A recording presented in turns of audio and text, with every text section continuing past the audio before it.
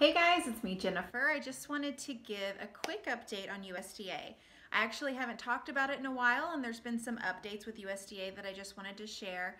Um, and I just don't want any of us to forget about that loan because it is such a great loan.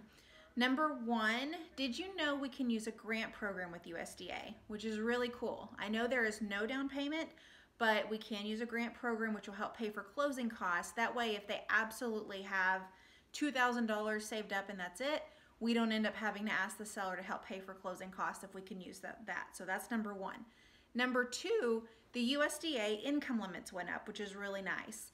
The income limits, if there's one to four people in the household, is at 99,100. So that's a pretty nice income limit for sure. And if there's five or more people in the household, it's at 130,800. So that's number two, income limits have gone up. Number three, is just an interesting thing to know about the different cities that they took out of their mapping for USDA over the last several years. But what we have learned is that for different cities that we thought are no longer in there, a lot of them, if we search the address, it's possible that that address may still be in USDA. So I hope that doesn't sound, I hope I said that right. So um, for instance, Forney. We've all known Forney is going to be exiting. We thought for a while it did exit, and then we found out that was one that you just searched the address to see if it might be in. Another one's Rockwall. How crazy is that? So if we search the address and it happens to be in USDA, then we can move on ahead, move on forward with USDA with that.